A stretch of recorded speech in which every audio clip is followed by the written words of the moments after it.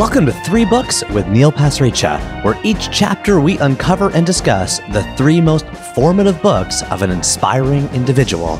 We believe books change lives, and that's why we are the only podcast in the world by and for book lovers, writers, makers, sellers, and librarians. Thanks so much for joining us.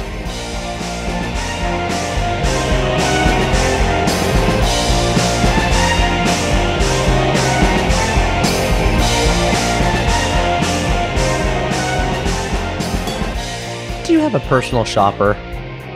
I don't, but the idea of the profession, personal shopper, totally fascinates me. I mean, imagine you had somebody who you just said, Oh, I need a new shirt, or I kind of need some special shoes. And they just know you. They know how you walk. They know how you dress. They know where you go. They know everything about you. So when they go to the store, they pick it out. It's the right size, it's the right look. It sort of just pushes you into, um, I guess, just a larger, fuller version of yourself, but you don't got to do the shopping work. I guess it fascinates me because a I can't well I don't have a personal shopper. I don't know if I can or can't. I don't know what the price range of those things are cost. But um, I like the idea of somebody sort of very specifically curating things for me, curating things for me. And while I don't have a personal shopper, I like to think that I have many personal booksellers. I'm talking about people who, when I go in the bookstore and I see someone like Sarah, who is my guest on this episode, um, she's like, "Oh, how did you like, you know, Everything Matters by Ron Currie Jr.?" And I'm like, "Oh yeah, thanks for remembering you recommended that to me, and also for giving me the guilt trip if I did not read it." So I did read it and I loved it. She's like, "Oh well, if you like that, he's got a new book, but I'm not sure if you'd like it. You might want to try, you know, A Fraction of the Whole, or have you read all of Jonathan Franzen and stuff?" And like suddenly, I've got a specific human who knows my reading taste enough that they're recommending stuff to me. On this show, we always say that humans are the best algorithm. I hate the Amazon recommendation engine. It just recommends the same 25 books to me over and over. I don't want the computer telling me what to read. I don't believe in it. I want a person who knows me, who knows what I'm going through, who knows about my divorce, my struggles, my personal issues, who knows everything in my life. And then when I say that was too hard for me, or I wasn't really sure I could get through that, they get me and they push me into a brand new book that helps expand my mind. A reader lives a thousand lives before he dies. The man who never reads lives only one. Ah, and you are about to hear my incredible conversation with Sarah Ramsey, who I think of as really my favorite bookseller in the world uh, thus far. So, options open for anyone else to take the mantle. She works in Book City, an incredible uh, book chain that's been in Toronto for something like 30 years. And she runs the store in the Bloor West Village neighborhood. For those that are Torontonians or who visit Toronto, you can pop into the Bloor West Village store and Sarah will probably be there. We went all over the place in this conversation. Her first book was my first ever formative book that was uh, a children's or young adult book. So that's going to be exciting to talk about. And she told me something about this book that I was really surprised at about how it was edited and changed over the years. So see if you pick up on those little sort of subtle changes. I'll give you a tip off. It's a Judy Blume book, but I'll, I do not want to reveal too much. But I didn't realize that people changed the text of books over the years, really at all. Um, so that's a really fascinating conversation. She picked a, a memoir that completely blew my mind. And I guess the reasons why she picked the memoir and what that memoir says about beauty and how we look at ourselves in the world was were really fascinating to me. So I'm excited for you to hear about that. And then the uh, third book um, was a bit of a mind blower. I can't say I loved it, but you will hear Sarah a vouch for it in a really sweet way that I think will make you very intrigued, especially if you're in a certain stage in your life um, where you might want a book like that. Now, speaking of first, this was also the first chapter of three books that I recorded live in a bookstore while it was open. So we like nestled in by the kids section at the back, like literally crouched over like a desk with a computer on it in the store. And you'll hear funny noises in the back, like a phone ringing sometimes, maybe a customer walking by. That's because we're in Book City. We're in the actual store. And it was a real pleasure to do this with Sarah. She um, told me she was nervous, but I guarantee I was more nervous than her, and she did an amazing job. Please enjoy my conversation with Sarah Ramsey, my favorite bookseller in the world, at the Book City in Bloor West Village in Toronto. And we think of every chapter of three books as a conversation with three friends. You're one of those friends, which is why we record every chapter of this show in a special two ear format. You'll hear me in one channel, the guest in the other, and we picture you hanging out on the couch between us, enjoying this wild ride we're all on together.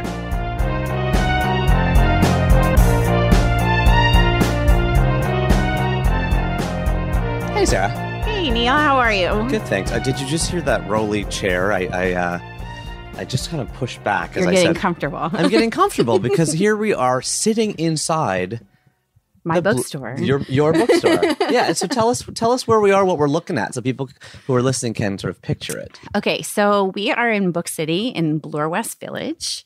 Um, Toronto, Canada. We're comfortably ensconced in the children's area right now, um, which I think might be one of my favorite parts of the store. Um, Book City has a wonderful relationship with this neighborhood. We had previously been located two doors down for more than 20 years, um, but another big bookstore moved into the neighborhood and unfortunately really posed a lot of challenges, not only to us, but a couple of other indie bookstores in the neighborhood when they left um, four years ago, almost four years ago, we moved back in because the neighborhood needs a bookstore. so you were there for 20 years, Yes, and then you not me personally. no no, but but, yes. the bookstore and the then bookstore but existed. I didn't hear about the the sort of the bookstore left. yes, What, what do you mean left? yes, Like closed it shop? closed shop. Okay, it wasn't able to compete at the time. Yes, with the big the bookstore big down bookstore, the street, and, and everyone's ordering online and stuff too. And so all that's happening, and then and then suddenly this became a book desert all of a sudden. all of a sudden. And you guys made the not many people do that, so that you guys came back. We have a little chutzpah. So, You're back. but again, the neighborhood really, really needs a bookstore. Yeah, I'll say. I mean, I don't even live in this neighborhood, and I Uh-huh. come, I trek out here because of this bookstore being so Yes. good. And so, Book City has been around as a chain in Toronto for forever. It's one of the oldest chains in the city. 42 years 42 this year. 42 yes. years. and you know this bookstore is it's a small store right like it's like i want to say two or three thousand square feet maybe yeah, it's really tiny. Right. We're the baby book city. you're the baby book city and then but all the walls down all the left and all the right are just lined kind of floor to ceiling with the famous like bright yellow signage and numbered categories like number 18 middle readers number 19 mid older readers number 21 you know parenting like what are the numbers what are all those numbers for it just help us helps us assign sections and it helps us Mm. measure metrics geographically Hmm. um, so we can keep track of you know how each section is performing so That's fantastic. Cool. I, I love that we're recording. This is the first episode or chapter of three books that I'm recording in a bookstore. That is that is open. So while we're while we're talking, someone's going to come up in the middle of ask you or me for book recommendations. quite gonna- potentially Yes, yes, and that's okay. that's okay. So, um, and then you and me, I thought we could just talk. So uh, we met at Totsapalooza. we did meet at Totsapalooza. That was two years ago, That was I two- think. More than Was that, I think. Well, I think it was 2015. Maybe. Yeah, because that's when Awesome is Everywhere came out. That's right. right and Yes. and so i was there schlock, schlepping my my uh, children's book Yes. and Totsapalooza is this incredible event where they invite into like a downtown toronto like concert venue yes. toddlers to Mhm. yell and scream at, at authors and, And get their book signed and musicians. musicians and make it feel like books are the celebration which is beautiful Yeah. which is kind of like what word on the street sort of feels like to me Yes. the largest uh, open public book festival in Canada. Yeah. Um, and that is just like people just feeling excited and pumped about books. Uh-huh. So, so often the books are like insular. You know, you're kind of like by yourself in this process, the writing of them, the reading of them, all that stuff. So, Totsapalooza, we're on the street. These festivals are huge. I've never been to any of the like gigantic world book festivals, but I'd love to go. No, me you too. hear about like Sydney and you hear about, I think it's Jaipur, Yeah. and there's these big ones that Yeah. must be so fun so fun. and and then us so we developed a connection there and Mhm. then and then i came in here one day and it Uh-huh. was and you were here and i don't think i pieced it together yet but i was like hey because i was wondering if somebody can recommend some fiction and you're like yeah i can and i was like you're like what do you like and i was like oh i like a, F- a fraction of the whole by Uh-huh. steve toltz Uh huh. Which no one i know has even heard of right it was But I read it and loved it. you read it and loved it, and so it was like im- immediately. I'm like, oh my god! And then I, you're like, what else? And then you suggested a book. You suggested, I think, Everything Matters oh, by, the by Ron, Ron Currie, Currie Jr. Jr., And I is- said to you, I've read it and loved it. So this was amazing. It's like finding someone who just had this, ha- you had this thing, and you could put your finger on something. I couldn't even put put a finger on for myself, which is like Mhm. what kind of books I like. hmm And so I, I keep coming in here to share context for everyone listening. It's like I come in here probably, I don't know, at least four times a year, and I leave with 10 new books, all of which you have given me. You've probably given me 40, and then I like try to read the first few pages and, and come up. And it's like, how do you do that? How do you come up with, like, you are a lot better than any sort of algorithm or any sort of, you know, what do you do? How but do you, I think how do you, you, have to books like that? acknowledge that? it kind of is an algorithm, but on a more personal kind of level. Sometimes, you know, when you're engaging with someone, you ask them, What have you read that you really, really loved? Because maybe they're looking for something kind of similar. Maybe they're too afraid to be a little experimental with what they read. But I think the difference between myself and an actual algorithm is that there's a lot more nuance and subtlety when you're actually talking to a person. You don't clearly just look at their their purchase history. You can sort of understand a little bit more when you're talking to someone face to face about what they might be interested in reading, what they might need to read Mm. at the time. Is is there? It seems like part of what you do for me. I know I feel this anyway. Is you help me grow. oh, thank you. Well, like That's you- a huge compliment. Yeah, you do because I, I walk out with books that are ch- more challenging, and I Uh-huh. don't necessarily mean like vocabulary wise. I mean Uh-huh. like thematically or Uh-huh. just an area that I I'm like I have never thought about. Like you recommended The Sympathizer, yes. which I I read and loved, and I Uh-huh. like knew nothing about um the Vietnamese refugee perspective of the Vietnamese of, of the Vietnam War in, in Mm-hmm. the U.S. and like I feel like I learned a history lesson. I feel like I learned like I lived a totally different life. I, it was Uh-huh. incredible, and like I I would never have known I needed to read that book, but you uh-huh. put your finger on it Well, for me. thank you. Yeah. So you're great. You're my favorite Oh, bookseller in the entire you. world. I come here. I come in here specifically because I'm like, you just point me in these great directions, and so I'm so appreciative of Oh, you, Thank you. and and I'm so excited to explore your three most formative books. my three most formative books. I you- have to tell you Yeah. before we start, it was really hard to just choose 3 hmm I can imagine. How'd you do that? Um, well, I sort of took a look. I stared at my bookshelves at home for a very long time and tried to figure out maybe at different stages of my life which piece of fiction or nonfiction was really important to me at the time and sort of was not only formative in the person that I am now, but it was also transformative. It opened me to new ideas. It opened me to maybe new styles of writing. Um, but yeah, I stared at my bookshelf for a long time trying to figure out. Well, I so appreciate you doing that Yeah. work, and maybe we should also before we get into the books, like do like a little thirty second on you. oh, geez. you know, and, and uh, you know, obviously the the intro was there, but Uh-huh. but you know, um, you're uh, Myself in a nutshell. yeah, Is that what you can- asking yeah, me? so the, so the people listening can kind of picture you a little bit more. I see lots of piercings, Some tattoos. so piercings, tattoos, thick black glasses. Um, bit of a nerd. I always loved reading. I think um, my first crush was on Dickon Sowerby from A Secret Garden when I was young. Clearly, did not quite understand that he was a fictional character, but I was madly in love with him. I don't know. I don't know. I don't know him. You've never read A Secret Garden? Is, is that the same as the Secret Garden? yes. But it's funny because I was in that play playing the clarinet in like Uh-huh. grade twelve. But how do I not know that character? Oh, Is it a smaller Oh, character? No. He was so formative to the character of Mary in that book. Who's oh? Yeah. Who's Dickens? Um, pardon me? That, who's Dick? You said Dickon, he yeah. was he was the um so Mary, the Yeah. the major character in the Secret Garden, um, goes to she gets abolished to her to her family who live in the countryside.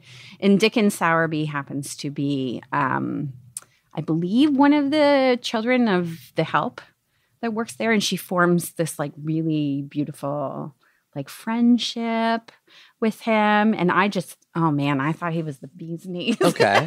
The bee's knees. I like that. So your kids, books have been a Yes, huge part of your books have identity. been a huge part and, of my and today you live in life. Toronto. I do. Family life. Yes, I'm married Mhm. to another bookworm. Um, As book people usually do. They find each other. when we got together, Uh-huh. oh, like the merging of that library was epic. And you actually did perform a merger. oh, we did. Okay, yeah. yeah, there wife and I wasn't a lot merged. of um there wasn't a whole lot of overlap too, which is great because he reads very differently than I do. Um, he's more accepting of technology as well too, and um, at one point he bought himself an e-reader because he really likes to read big books, and you know they're very hard to carry around with you all the time. But he hid it from me because he didn't want to offend me in any way that he had something electronic to do his reading from, which is not the way that I like to read. But you know what? I find that offensive. I'm glad he hid it from you. I don't like e-readers. Well, I don't either, but again, it's a personal choice. I wasn't going to shame him for doing it. I obviously understand. Non-judgmental. No, non-judgmental. He's still reading. It's not the way that I like to read, but you know. Um, so he hid it. And I believe a few years ago, I was about to take our winter coats in for dry cleaning before the season started. And he had tucked it inside the inside pocket of his winter coat so that I wouldn't find it. But just to pull his leg a little bit, um, he came home from work and I was like, listen, there's something we need to talk about. I pulled out this e-reader and I'm like, what is this? Like, um, I had discovered like lipstick on his collar or something. And he's like, oh, oh, I'm so sorry. And I'm like, listen, I don't care. This, this is fine. That is so funny. when you when you say hid it for me, I thought you meant like for a week or two, but you're talking no, like it was like probably a month or two. He was very nervous. He's like, I never want to devalue what you do as a bookseller. So I'm not going to get an e-reader. I'm not going to get an e-reader. I'm not going to get an e-reader, but he did, and it's fine. We're cool. it's funny how see the root of that is I don't want to devalue what you do as a bookseller. Uh-huh. And you're the first bookseller I've Uh-huh. had on on the show. Mhm. What what is a bookseller? Well, I don't know. I think it's someone ultimately that is really passionate about books that wants to share that passion with other people. Sure, it's capitalist. Sure, it's you know all of these other things, but I think ultimately like a really good bookseller really wants to share their passion for books with with other people. And I especially like doing it with kids because if you can get a kid interested in reading when they're very young, you've Mhm. made a reader for life. hmm And that's what I really love about working with small print.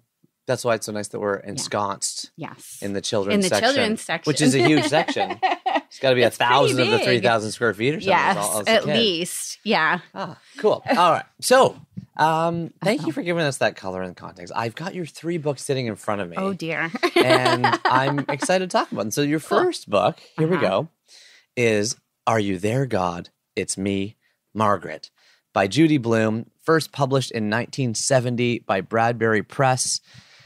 It's about a sixth grade girl who's grown up without religious affiliation due to her parents' interfaith marriage. The novel explores her quest for a single religion.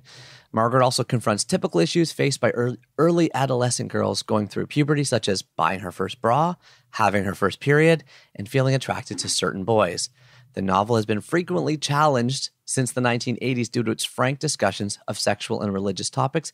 It's even ranked number 60 on the American Library Association's uh, most like ban like requested to be banned Yes. books.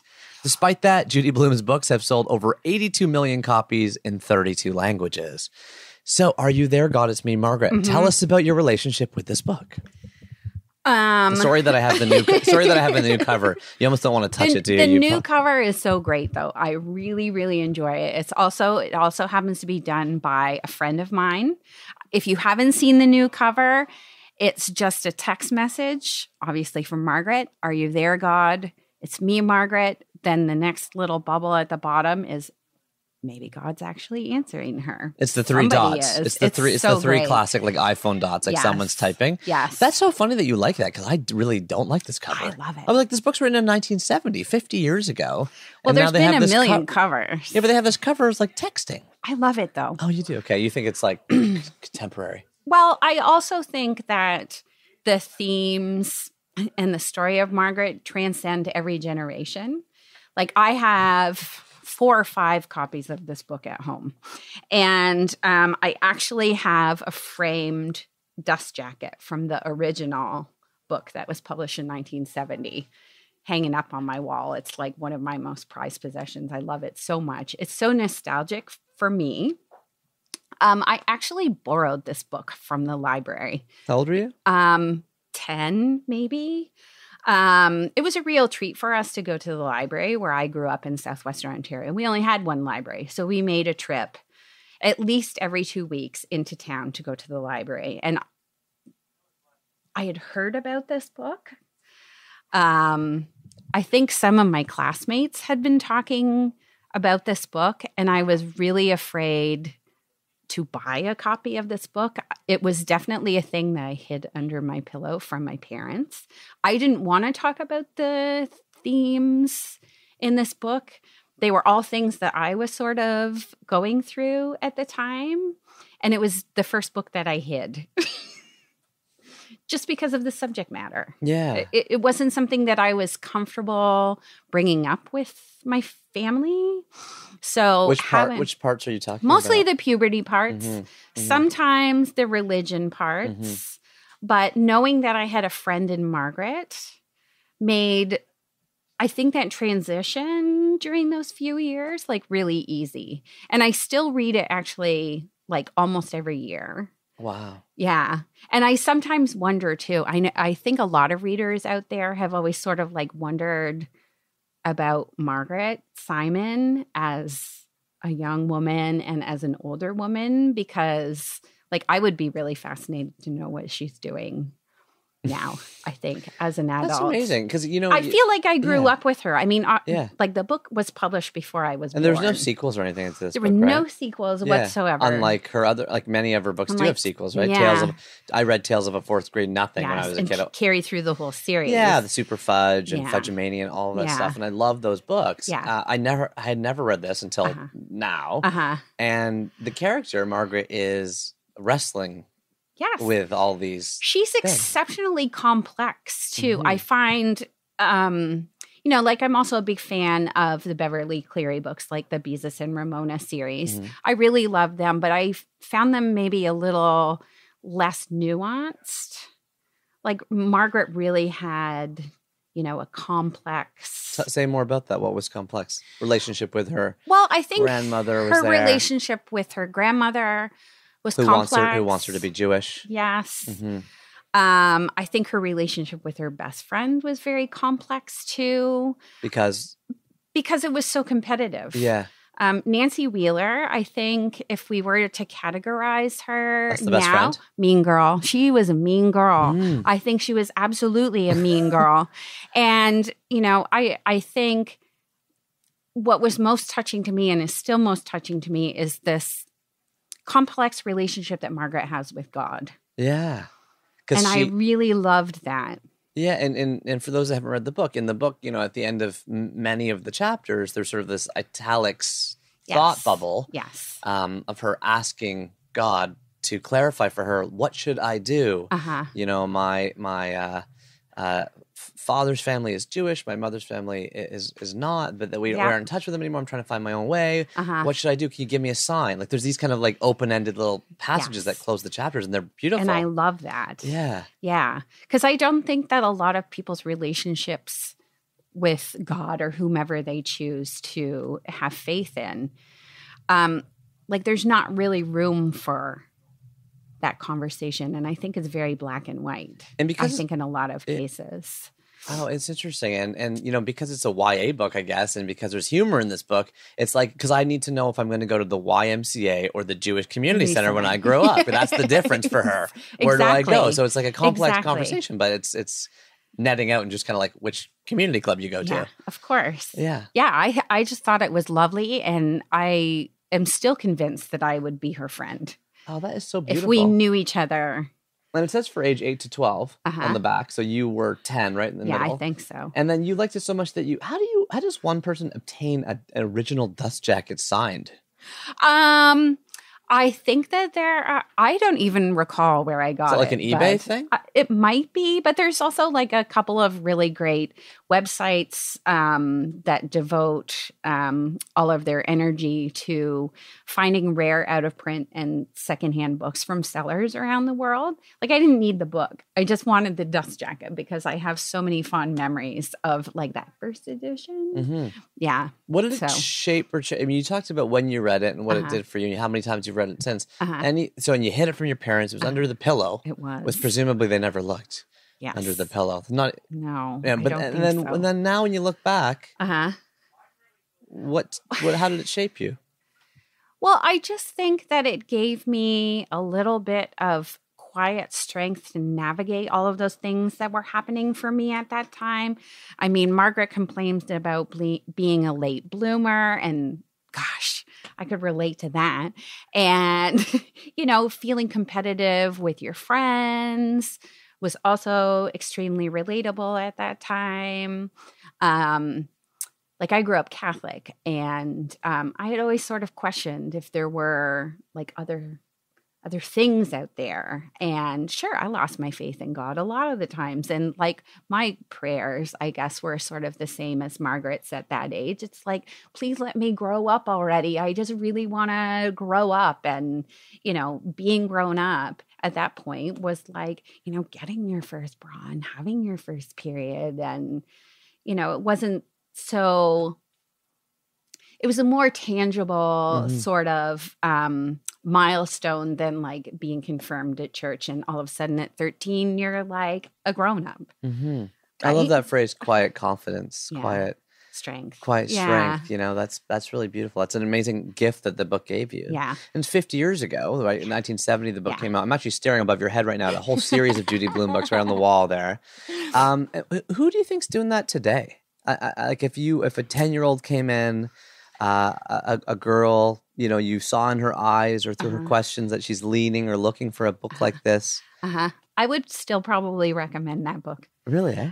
I It's mean, there have been subtle strength, yeah. changes and subtle edits over the year because they've had to kind of like update it, especially when talking about, um, you know, just like sanitary hygiene. They had to update the book. Sorry, what changed? Um, well, No, you- my you- mom explains Since to me since that you read read the book, you read the book every year, and you have Yes. five copies. I'm so curious now. I didn't know this. So this book yes, has changed. The, the language has changed. The language what's, has what's, Tell me what specifically has changed, Well, if you if you know. Specifically, what has changed is um, just like the technology and like sanitary hygiene. Like um, when the book was first written, I have no experience of this, but my mom tells me, and the book tells me as well, that like when you were menstruating, your pad in your underpants was affixed by this little belt that you Oh, had to wear around your waist. Yeah. So obviously, like that changed a lot as the technology of hygiene products changed too. So those have been updated in like the later editions. Interesting. Anything Yeah. else like that? I'm so curious. This is just I'm just fascinated. Like, well, they're changing the book, right? But but I mean, they're changing details of it. Obviously, like the fundamental story mhm. still exists, but I think that's really like the only thing that's so interesting that has though. changed. Yeah, because nobody can relate to the um, maxi Yeah. pad belt these days. Yeah. I can't. no, ditto. Um, cool. That's so great. What a legacy. Uh, you know, by Ju- Judy Blume, who is Yeah. eight, I, I looked it up. She's around eighty today, Yes. and, and and is still and publishing. she's still writing, right. yes, she which is fascinating. She wrote like a me. an older, not not for young adults, but like an old, Yeah. like a, her fourth. I think her most recent book Yes. was her fourth ever book written for an older for audience. grown-ups. Mhm. Yes. Yes. But it contains a teenage protagonist. So there is crossover appeal, I think, Mm-hmm. like to maybe an older reader, an older young adult reader. Yeah, So and yeah. it's cool that you'd still uh, recommend these books today. It's not Oh, like you- totally. it's not like you've shifted to like more Totally. contemporary authors. It's like go back to Judy Blume. It works. It, Yeah, it's great. it totally works. Okay. Yeah. Perfect. Ah, thank you. That's great. That's a great conversation on on Are You There, God? It's Me, Margaret. Now, your second book, and I love that you've given us three totally different genres too. So that was a YA book. Mhm. The next book is memoir, Yes. and it's called Autobiography of a Face by Lucy Grealy. Um, and just to give listeners a bit of context, it was published originally in 1994 by Houghton Mifflin. Did I say that right? Yes, you did. Houghton Mifflin. um, the book was written when Lucy was 31 years old, and I can, we can look at the back and see that she sadly died at age 39. The Publisher's Weekly summary is of autobiography of, of a face. Diagnosed at age nine with Ewing sarcoma, a cancer that severely disfigured her face, Grealy lost half her jaw, recovered after two and a half years of chemotherapy and radiation, then underwent plastic surgery over the next 20 years to reconstruct her jaw. This harrowing, lyrical, autobiographical memoir, which grew out of an award winning article published in Harper's in 1993, is a striking meditation on the distorting effects of our culture's preoccupation with beauty. Hmm Wow. Um, this is just a stunning book. Well, what is your relationship with autobiography of a face? Um, so there is this terrific feminist magazine. It's called Bust. Um, I started subscribing to it when it was still a zine. So this is like I've had a Pre-mega. yes, I've had the I've had a relationship with this wonderful magazine for 25 years, Wow. I think. And I stumbled the first thing that I always read in Bust were their book reviews. And they had reviewed this book and immediately I was like this sounds fascinating. I really want to read this. So I picked up a copy. This like back in 1994 kind of thing? Well, not quite that. Sorry. Yeah, maybe 94, 95, I think. And I went to the bookstore and I picked up this book immediately. And I fell in love with it. I mean, it broke my heart in many, many, many ways because it really challenged um, ideas of beauty for me. And um, like, I just thought that it was astonishing. Her prose is astonishing. The writing um, was just so heartfelt and so confrontational at the same time. Like, she Mhm. really kind of dismantled traditional ideas of beauty and, you know, s- quiet strength. And um, she talks a lot about her sexuality um, in it and feeling sometimes like she's a monster and she's a novelty and that's why people are maybe attracted to her and like, it was very formative for me at It's that point like i was paragraph on when she says, "That's when I realized I would never have a boyfriend in my entire life, or Yeah. have sex my entire life." It's that was heartbreaking. it like was you're so crying when you read that. heartbreaking and you know it's interesting because you look at her author photo and i mean she hated being called disfigured this is something that i read about her um, it wasn't a disfigurement but like i can't really tell from her author author photo she was as ugly as she described. Like i think she really fundamentally considered herself a monster and it makes me really sad that she isolated herself for all of those reasons. Um, she had very few close friendships. One of them is actually the writer ann patchett who wrote about it in this beautiful book called on truth and beauty um, which you might be interested in reading. Um, but yeah i mean it just I mean, it was alternately like so raw and so honest, but yet really funny and touching and bittersweet sometimes. And, you know, it's interesting to note too that, um, you know, as she was battling uh, the cancer when she was young, her family never called it what it was Mhm. They spoke about it in really clear diagnostic kinds of terms but i don't think any of them could like actually muster Mhm. up the courage to say well lucy had cancer It sounded. They, she described them as like kind of like a, a kind of a Irish, uh, kind of tight-lipped. i think so Lots of kids. Yes, she was one of the. of kids. she's one of the youngest. Yeah. a twin. Um, Yeah. So much going on in the family. Mother, Yeah. sounds like battling some, some mental illness. I think Uh, so. Father who suffers and di- you know dies in this book of pancreatic cancer. yeah It sounded like you know there was a lot of challenges, hmm and I think that word you used. Did you say the word lyrical? Or Yeah. maybe I read that from the Publishers Weekly. It's it's a great way It to describe this book. It's, It's hard to read, and the cover hmm is haunting. It's this it's this picture, not of her, I don't believe, i love that cover but though but it's a picture of a, of a girl with like it's a black and white photo of messy hair, and her hands are coming up to her face, covering her face with like a small like black garbage bag. You can't see any part of her face. uh-huh. And, and the, the title's written in like a crayon, like autobiography of a face by Lucy, Lucy Grealy. and it's um, it's a it's yeah, and it's I'm so glad you yeah. Oh, enjoyed I, it. I loved it.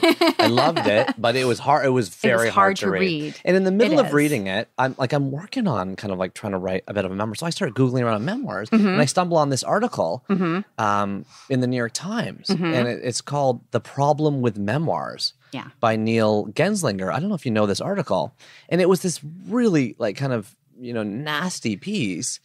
Uh, and it says here, like I'm just going to read a little paragraph from it. This is the New York Times article, "The Problem with Memoirs" by Neil Genzlinger. A moment of silence, please, for the lost art of shutting up.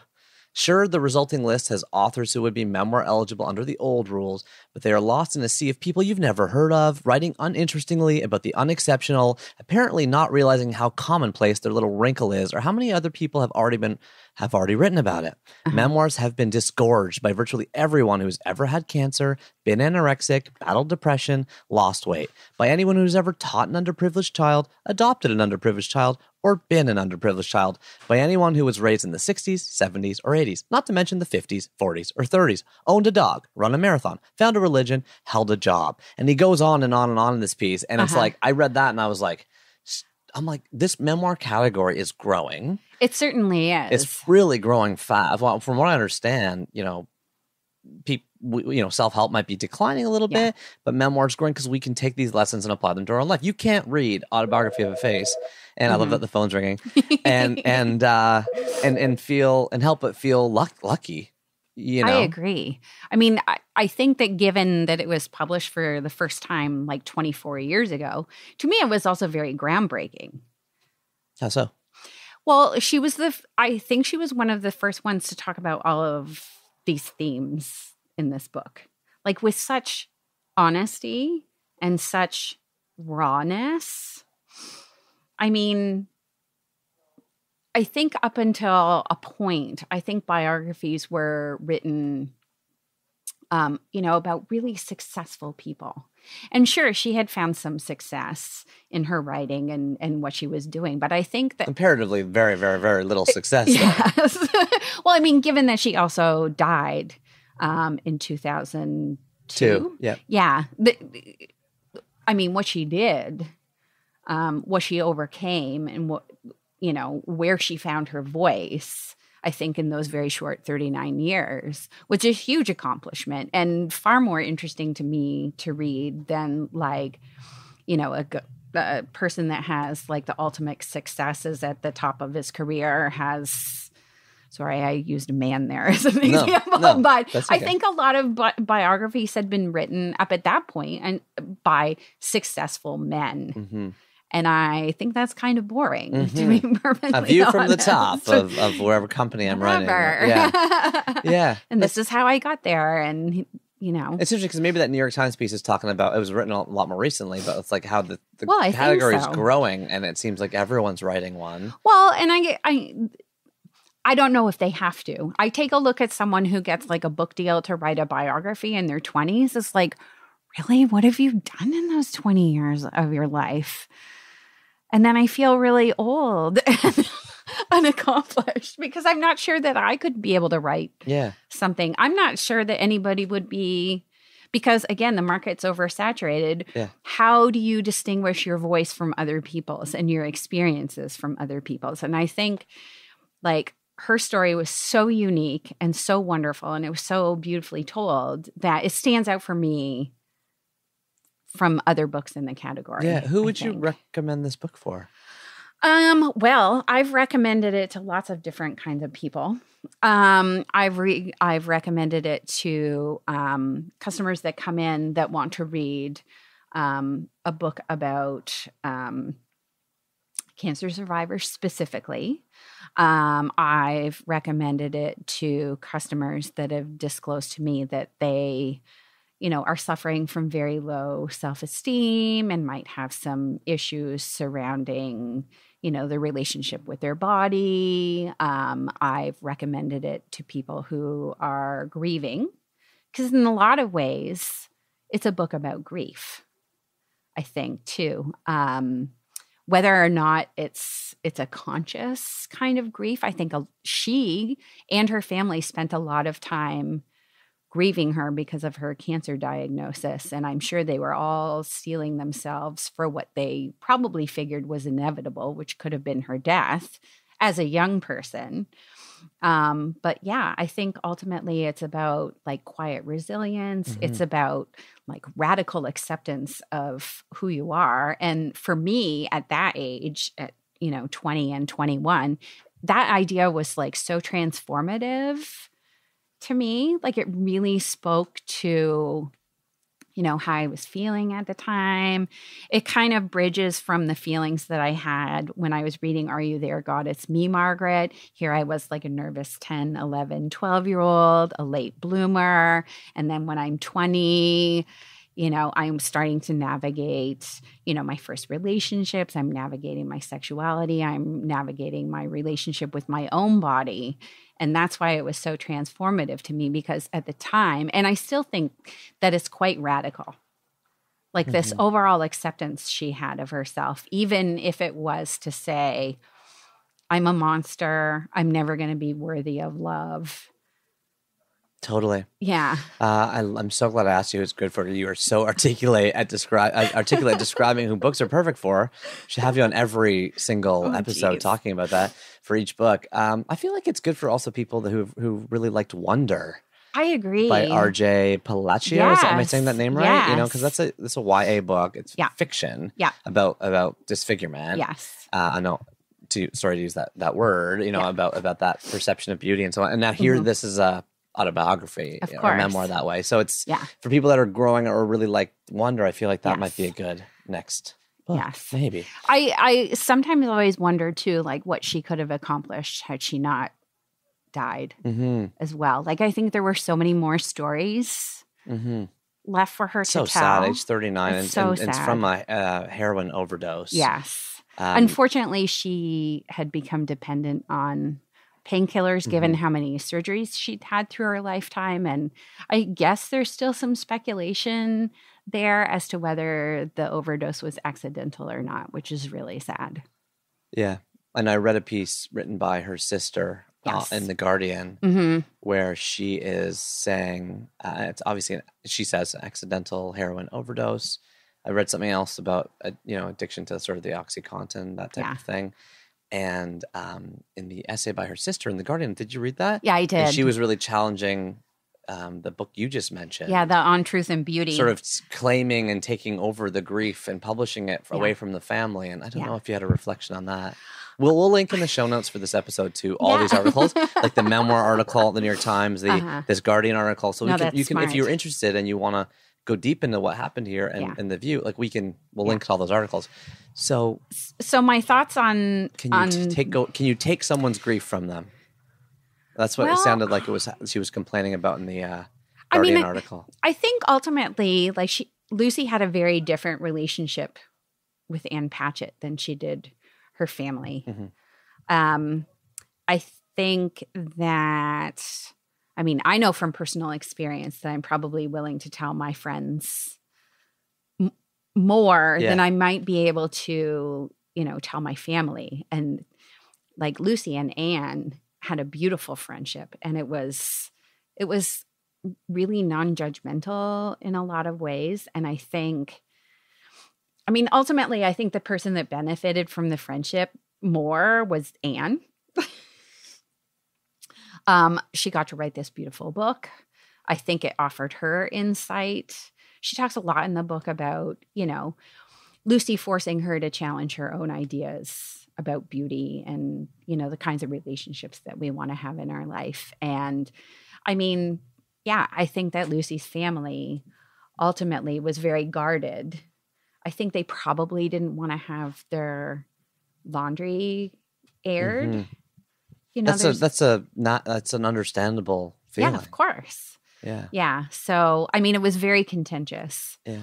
Um, they really did not like the publication of On Truth and Beauty, but I think it's an outstanding book and it offers really, like another really point well. yeah. of view mm-hmm. to the autobiography of a face. And maybe that's what all books are doing, right? Like they just keep adding to this global conversation we're having about I think so. About views yeah. of yeah. this tiny short life we all have. For sure. So, Yeah. ah, but it's so understandable to to understand the perspective. I don't want Yeah. my my you know sister who's dead to Yeah. have a whole book written about her that is mentions her in all these ways that we didn't Of necessarily know about her. So that's you know, there's Totally, also yeah. honoring, mhm. you know, a person's memory and keeping what's sacred to other parties maybe sacred as well. yeah, it's so Yeah. hard. I um They weren't shared experiences. So I think maybe that's where some of the conflict comes in too. Yeah. Uh, Yeah. it's a hard it's a hard big thing to Yeah. think about. I uh in my TED talk, Uh-huh. um I talk about my friend Chris who Mm-hmm. um took his own life Mhm. and I have had people say to me, "Hey, that was exploitive." Uh-huh. um, you know, your friend took his own life. What right do you have to sort of use that in But he was also part of your narrative, right? I know he was, and uh, I did talk. I of course spoke to his family um, before I did that speech and, Uh-huh. and used his picture. But I, it, it strikes me in my stomach when I hear those conversations because you know you never when you have a friend that you lose and you want to you want to share that story And honor them and somehow. on the word yeah. honor is a great beautiful word right as Yeah. opposed to sort of Yeah. you know Yeah. using lucy grealy's story to sell a book Yeah. that doesn't sound pro- right and i don't think Yeah. that's what happened I mean, by no means it's it, Yeah. it- is it a book uh, like a bestseller here. Like Yeah. I really try to like suss someone out before I. I don't think it's a book for everybody. I mean, I think it's a book for everybody, but I don't think it's a book for everybody. yeah yeah, yeah not truth yeah. I need to really sort of ask quietly if you know they'd be interested in reading something like that, or maybe they're in the right space, or i'm so glad you we know. have it on our on our list now so that's the second book the third book Uh-huh. can, we, can we transition up to the third of book Of course, the third book and we have a customer here do you want to ask do we have any do you have questions you're okay okay we have Okay. because Okay, great. great. Great. we love when customers know exactly what they're looking for. so, uh, the third book is Uh-huh. called Light Boxes, yes, a novel by Shane Jones, yes. originally published by Publishing Genius in 2009 and then Uh-huh. eventually released by uh, Penguin Yes. in 2010. Yes. It is the surrealist first novel by poet Shane Jones. Mhm. Um, the description I have is that it was originally like a limited edition of, I guess, with Publishing Genius of a thousand copies. And the description I have is that it's a unique novel of seasonal affective disorder come to life uh, in spare prose that could almost be considered poetry. It's it's the story of a town ravaged by endless winter and endless February. Mhm. It's been February for several hundred days, but February isn't only a relentless month, it's also the malevolent being holding the town sort of hostage, stealing Yes. children and Yes. you know, just like devastating the community. This is a rotating narrator book, Uh-huh. like the Babysitter's Club. Yes. Like every page is like told by a different perspective. Yes. it's super fast paced, totally mind blowing, and crazy. Like it's so hard to. Anyway, it it's is- very hard to categorize. It's hard to categorize. Tell us about your relationship with light boxes. Originally, I picked it up because I like the cover. I'm not even going to lie. I Cover- think cover it is a- is a- is is a- stunner. Yeah, it's a drawing of five tall men wearing black top hats, wearing Bird these masks. bird masks. And Yes. they're characters in the book I- called the Solution. Are they called? Yes. And their legs are all tied together with ropes. It's so Yes. confusing. Like you have no idea what that cover means. It is. It is. It- strange and beautiful, and I love it so much. Again, I literally just picked it up because the cover fascinated me. I knew nothing can judge a book about him.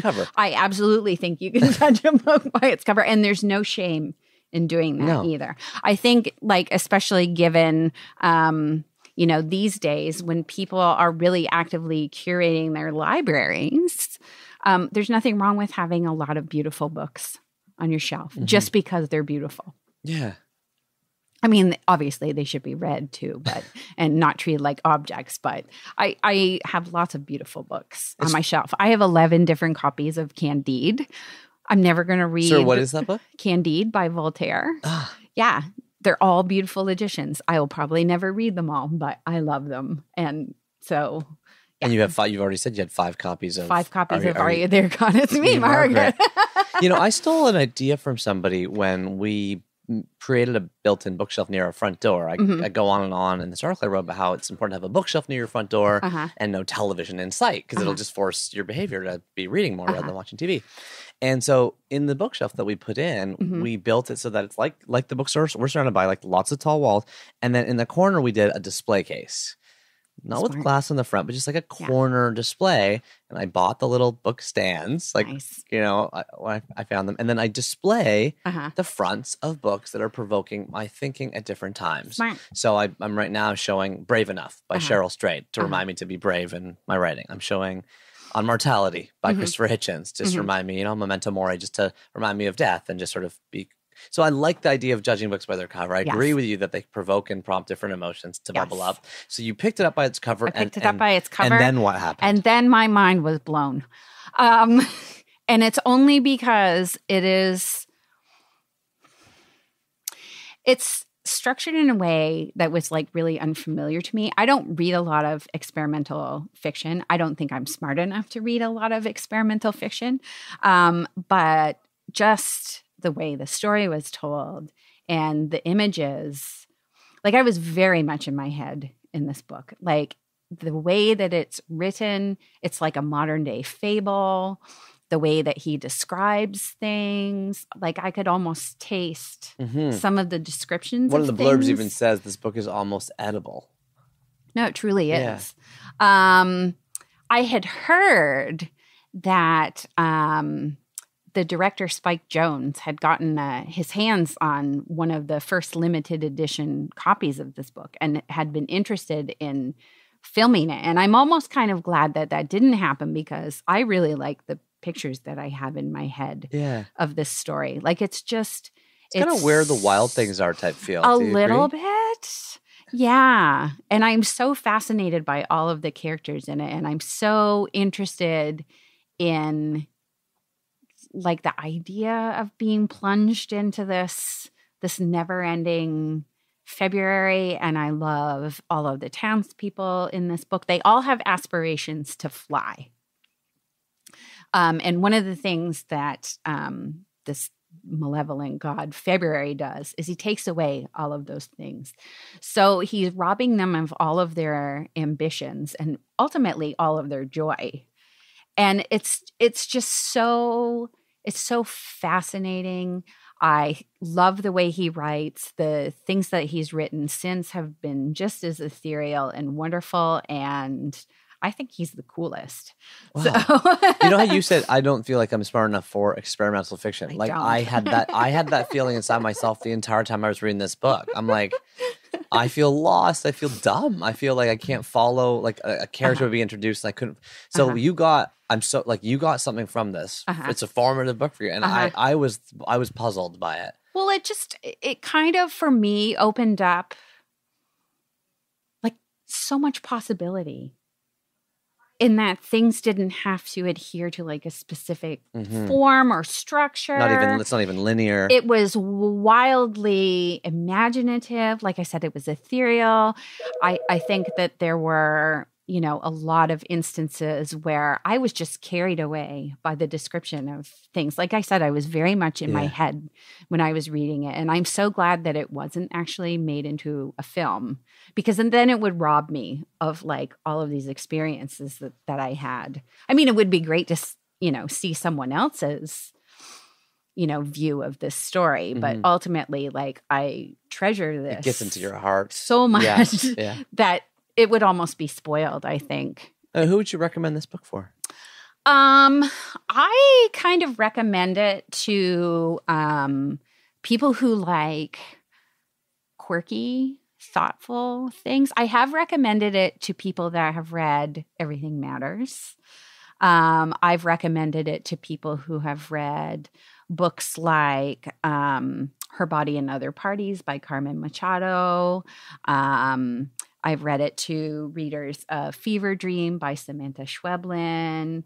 Um, I've read it to people that I've kind of decided maybe they'd be willing to go out on a limb and experience something kind of new, but by no means is it like a bestseller here. I think people sort of like flip through it and they see the structure and they're like, Even just yeah, it's it's a hard it's a hard book. It's a little the font size is going up and down, which is kind of cool. Like the whispers get smaller and the screams are really big. Yeah. It's just Yeah. beautiful how he did that. yeah. But it's uh such a different. Book. Yeah, it's it's Yeah. it's so radically different than Yeah. I think anything else on my shelf. But like I said, I got really excited about the possibility that someone could be out there writing these magical, marvelous, kind of strange and quirky little books. Well, the interesting thing you mentioned is people would pick it up, they'd flip through it, they'd sort of be like, "Yeah, I don't know, I don't know if this could could do Yeah. it for me." And you know, I don't know if I've ever told you this, but whenever you give me a pile of books here, I think you do know Uh-huh. this.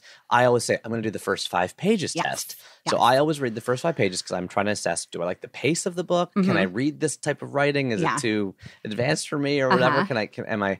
Is the style work for me? Is it so, and so Yeah. within the first five pages, if it doesn't grab me, I put it back. Uh-huh. Now, because I read Light Uh-huh. Boxes for this conversation and I Uh-huh. read Autobiography of Face, both Uh-huh. of those took way longer than five pages for me to kind of get sucked in. So I'm I'm actually second guessing myself now on my Uh-oh. test. Uh-oh. But ha- that's what I wanted to ask you about. I want to ask you about patience. I Uh-huh. wanted to ask you about patience with the book. uh-huh. Life is short. We Life don't have is that much short. time. How do you figure out when to give a book? Like when you're like, how many pages? How do you figure out when you chuck a book? When to keep going? What is it about a book that helps you decide whether you're going to read it all the way or not? Well, I mean, generally, I like to tell people, um, like, life is too short to be reading a book that you're not enjoying. Totally. But we're all pro quitting here yeah, for sure. of course. Yeah. But um, I generally like I like to acknowledge that sometimes I'm not in the right headspace, and sometimes I don't have the quiet time and attention to give a book that I think it ultimately deserves. So I'm actually I don't heed my own advice at all. I will keep books on my shelf. And when I decide that I'm ready to read them and like really give the book the time and attention that it deserves, I will go back to it. There's not a book that I have never not finished on my shelf. Wait a minute. There's never there's no book on your shelf that you haven't finished. No. Really? So your shelf is just books you finished. Yes. And if you haven't finished them, what you I sell mean, them? I do have a totally out of control to be read pile that doesn't count. Okay, yeah. That's- Every book that I have on my shelf has been read. And loved or just read? Um, I haven't loved them all. Yeah. And but the ones you don't love, you don't get rid of. It depends. Yeah. Okay. Well, we're gonna get to that in the Yes. fast money round Oh, because dear. the reason I was asking is because on my bookshelf I only have two kinds of books. Mhm. I have books I've loved Uh-huh. And books I haven't read. Uh-huh. Anything in between that spectrum Doesn't exist. doesn't on- exist on my book. It goes out. it's not it goes, allowed It to- goes to the lending library. It goes to the, Yes. the used bookstore. Right? Uh-huh. It goes to a friend who comes Uh-huh. to visit.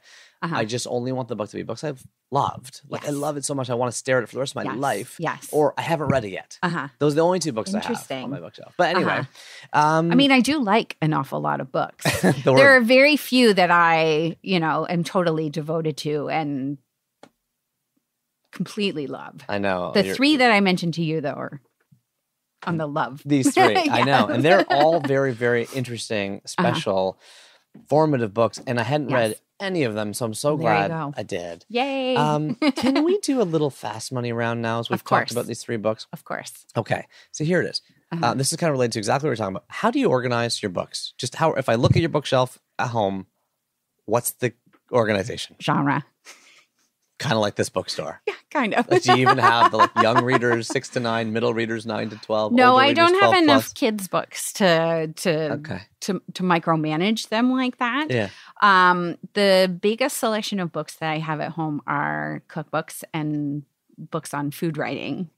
Um, so those are separated from the books that I they use to cook with, and the books that could alternately take their place on my shelf or by my bedside table that are really great books about food. Fantastic. Okay. Yes.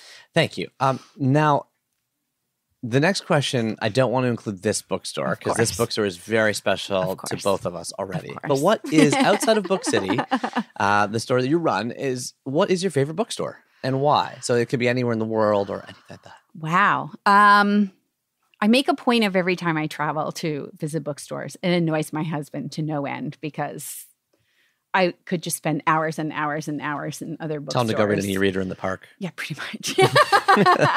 um, I think I actually really, really, really love City Lights in San Francisco.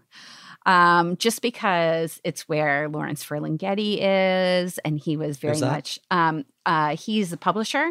Um, he was um, really uh, responsible for bringing about a lot of American beat literature. Oh. He was the first one to publish Kerouac, Okay, got it. and um, This was his bookstore. this is his bookstore. Like he he opened this bookstore. Yes. Oh, interesting. and it's fantastic. so it's been around a while. It's been around for a long, Uh-huh. long, long time. I believe that he's in his 90s now and he's still writing and publishing and he's still in the bookstore.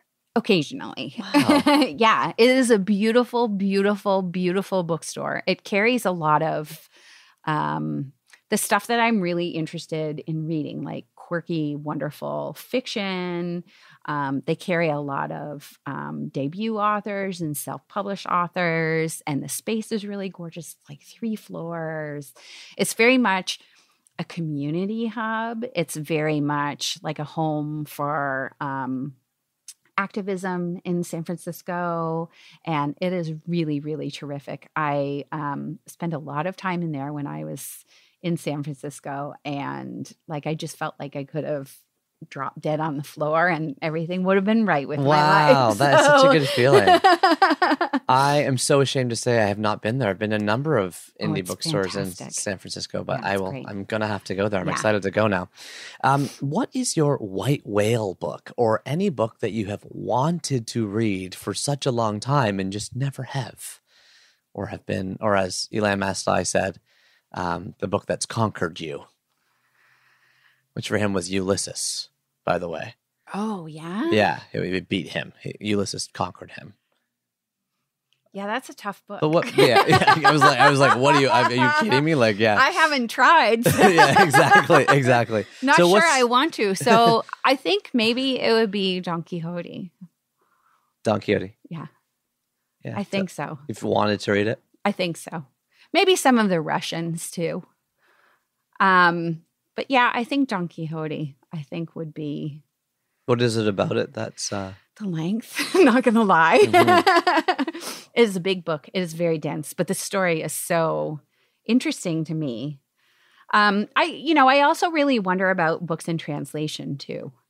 I wish I could speak more languages. I'm really only primarily an English speaker, but I sometimes wonder about what gets lost in a book's translation and what might be added to a book's translation. I just actually recently found out um, there's a really terrific um, Korean author named Han Kang. She wrote this book called The Vegetarian, um, and it was translated, and the translator actually added didn't like the way the story was going and added their own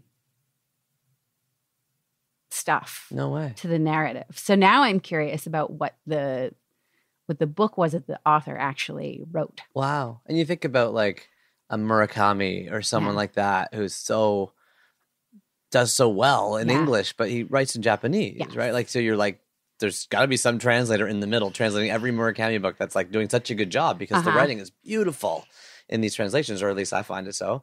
You don't. But is it the translations that are beautiful Yeah. or the original? I know you're making Like it I know, I don't mean to make you neurotic about your books in Well, I- translation. not- but... I guess I have to learn Japanese to really know. But Yeah, you I'm make so a gr- you make a great point. I mean, I have What if the book is like bans- badly translated so the book and of, you just blow it off because the translation is so terrible? so the book of awesome Mhm. is uh is doing really well in Asia, Mhm. in in China Mhm. and in Japan and Mhm. those markets have bought the sequels and stuff. Uh-huh. Whereas in Germany, Uh-huh. which had like a good advance for my first book, The Book of Awesome, it like was a it was like a huge flop.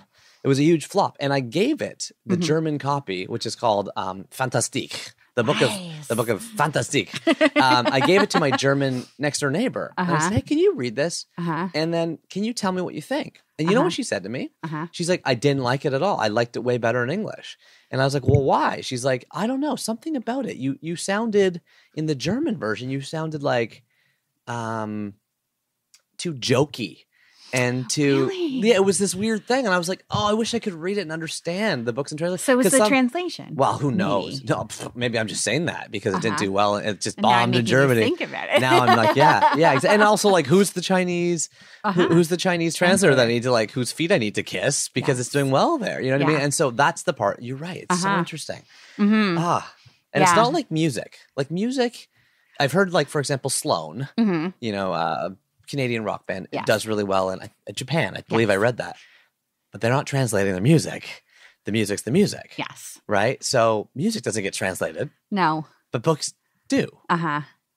So I, I you're anyway. There's a whole Yes. big nut here that I'm so interested in, in opening up. I'm gonna have to get a translator Yes. on three books and Yeah. ask them these questions. Interesting. Yeah, yeah, and I think and, that would be fascinating. and they're so not they're so not well known. Like, Yeah. like, can you name a translator? Like, I don't know who I would even go to start. There's their names aren't published in the front of the books. I don't think they're in the acknowledgments. Uh-huh. You know, it's I'm gonna it's a mystery. Yeah. Okay. Yeah. It's all that dirty work behind the scenes. I Yeah, guess. I like your suspicion though. That's so that's so great. You're like, it wasn't Well, even. I'm always very curious about it. Mhm. Like, am I actually reading the author's work, or did the translator sort of? Well, plus to your point, if you take a book like you know uh, Sen- Seneca's you know Letters from a Stoic, Uh huh. when you and I, I love that, right? But I love a version of that. Yes. And when you read about it online, people Uh-huh. are like, avoid this version, avoid that version, avoid this translation. This translation is really good. So people have all kinds of views because there's so many translations of it. Two thousand year old, you know, I know. philosophical textbook kind of thing. And not many books now, I don't think, none I can think of, get more than one translation, Yeah. right? They get the one they get, and that's it.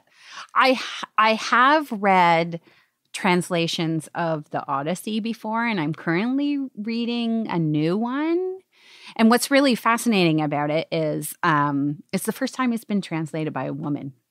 So the Oh. emphasis in the story is a lot different. It's not necessarily so much on the male characters that are driving the narrative.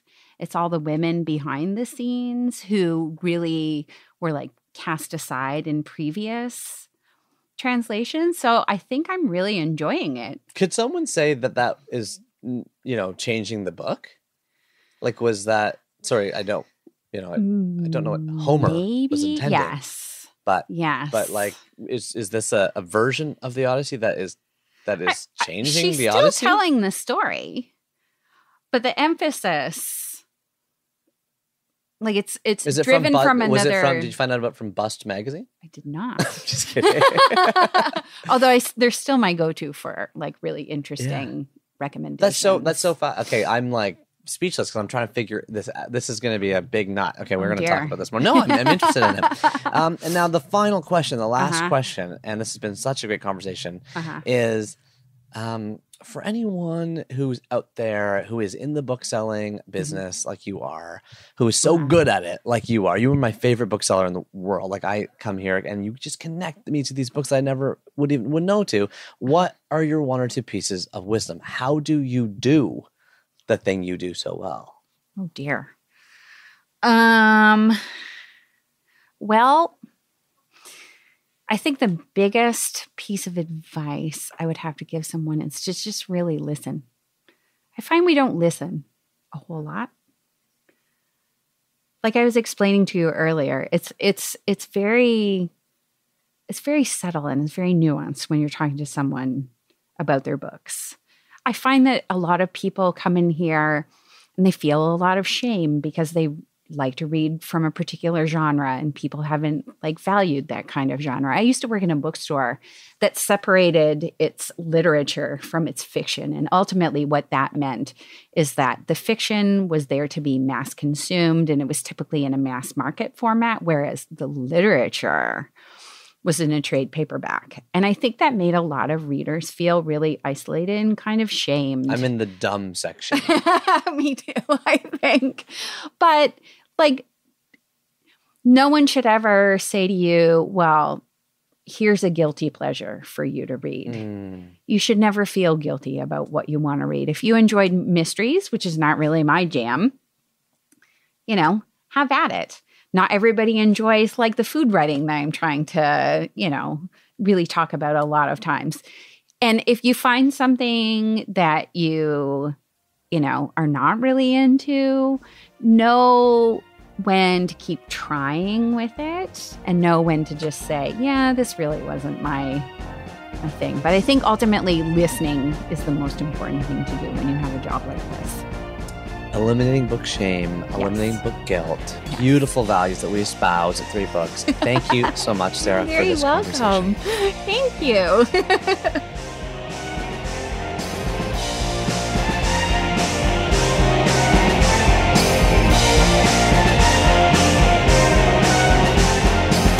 Hey, everybody, it is just Neil again. Sarah Ramsey. Sarah Ramsey, my personal bookseller. You know what's funny when I say that?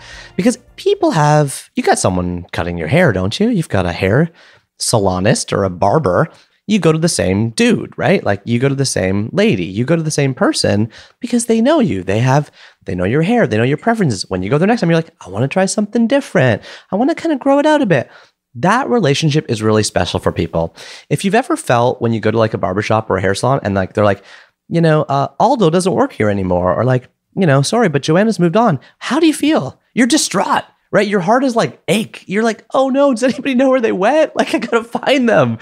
And it's like a it's like a mystery to find this person.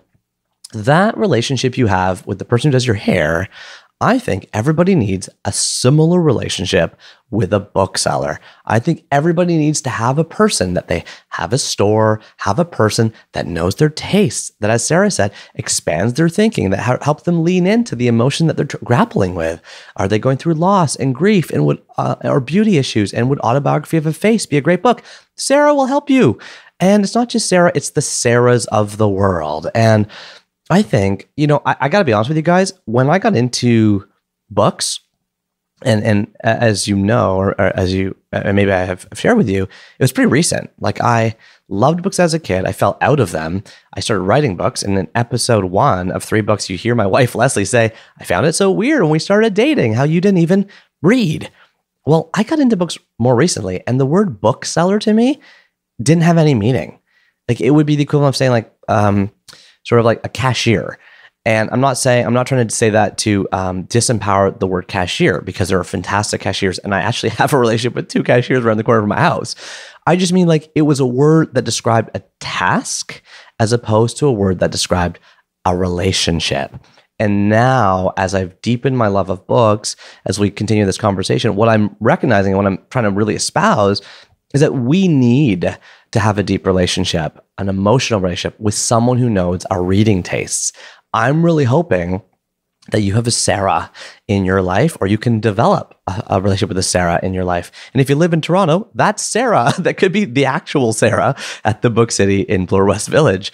Um, but I also hope, and this is a really big part of, of the show, that three books can be a bit of a bookseller to you.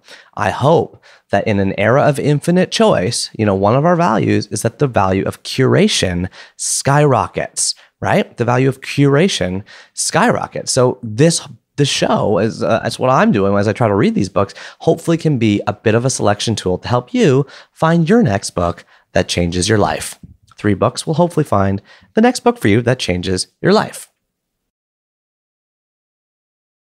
And now, if you've made it this far, I'd like to welcome you into the end of the podcast club. This is the club for people who are hardcore. You know, you are listening all the way to the end of the podcast, whether you are driving a truck or working out in the gym or taking your dog for a walk on the beaches of San Diego or wherever you are. I always mention San Diego a lot, I know. Um, this is for you. This is a little extra taster, a little extra treat at the end of the podcast. Now, we do a few things at the end of the podcast club. And the first thing we do is take one of your phone calls. Remember, you can call me anytime. I am at 1 833 Read a Lot. I'm at 1 833 Read a Lot. Call me anytime. Leave me a short voicemail with your name, where you're from, and your question or comment. So let's go to the phones. Neil, a man. This is uh, Tim calling from South Bend, Indiana. Uh, just listened to your podcast with Seth Godin.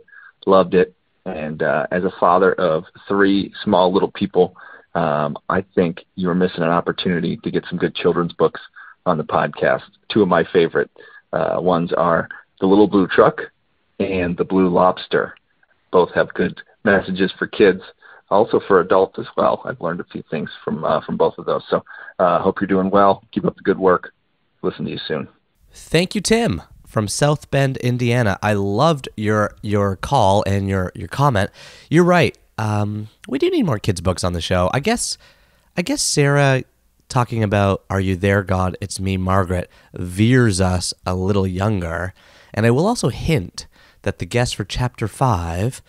Um, I'll just tell you. I'll just tell you. I'll tell you who the guest is. It's Gretchen Rubin, author of The Happiness Project, and she has a children's book in her selection. But you're right. I mean, if we're talking about forming books, if we're talking about what books formed you, then children's books are a really big part of it because you were this, you know, nebulous jumble of organs and blood uh, just floating around until you got sort of coagulated. And what helps coagulate you? Things like children's books. They help teach morals and values and ethics and principles. And I think that's a really good point, and we will strive as best as we can to have more children's books on the show. So thank you very much for your call. And now we are going to do the review of the chapter. Remember, every chapter of the show, we go on iTunes, we skim them, we find a review, and we pick a review that's just funny or interesting or critical or whatever, and we read it. And whoever is the author of the review that we read gets a free signed book of their choice. They just have to email us and tell us. So, this chapter's review, here we go, I'm pulling it up right now, is from Robyn Q. Okay, the subject line is Thankful You Are Honest, five stars.